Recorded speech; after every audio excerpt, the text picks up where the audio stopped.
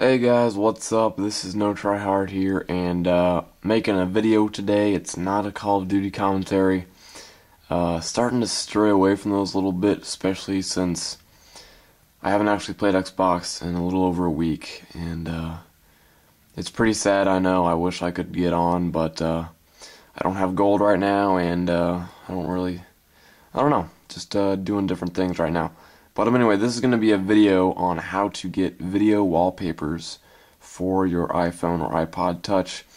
Now, this is um, obviously a jailbroken iPod. Um, I jailbroke it with Green Poison, and um, this is 4.2.1, I believe.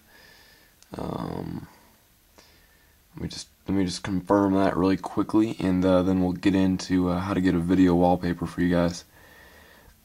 but um, yeah, so we're in 4.2.1, like I said, and so pretty much it's this little app called V Wallpaper, and obviously it stands for Video Wallpaper. And um, so we can go into Video Wallpaper here. We can turn it off and on. We can select a video to do. So uh, we I have the Matrix one right now. But um, I think my favorite one is the HD water. so you can, you know, see what it looks like and then confirm it. Go back to your home screen, and there we go. Now that looks beautiful, I'm not gonna lie.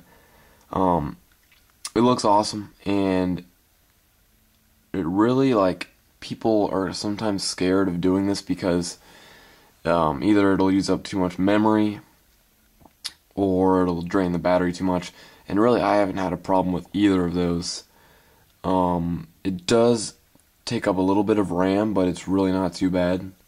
So then if we want to go and download more videos, we can um, choose the repository to get them from. So like this one, for example, only has a couple. Um, this one I think has a lot, yeah. Uh, so you can do any of those, and you can preview it. Oh, I guess I'm downloading this one already. Alright, well, I guess we'll just have to see what this one looks like. And this is downloading really slow, so I'm going to cancel that. But anyway, to get this, all you have to do is open up Cydia. And Cydia normally takes a while to load. So we'll just let it do its thing here. Um,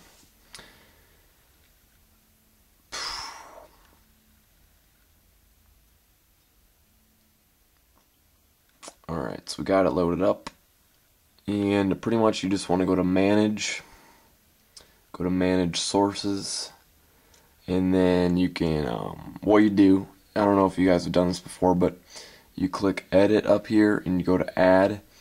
And then you type in the URL that I'm about to give you. And uh, all it is is just type in i.danstoface.net slash deb slash so I'll put that down in the description. All you have to do is punch in that blue blue text right there, i.dancetoface.net slash deb. Type that in, it'll add the source for you, and it'll show up just like this. And all you have to do is click on the source, dance to face, and then you can come down here and do V wallpaper. And I guess if you have an OS 3 device, you can use that too. I don't know why you wouldn't want to update though.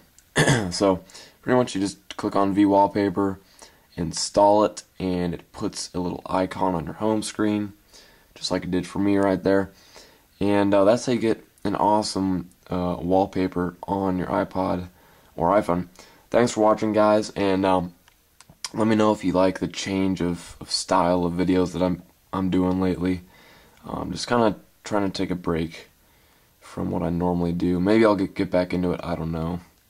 But um, any more jailbreaking tips or tricks you guys need, just let me know, and I am out.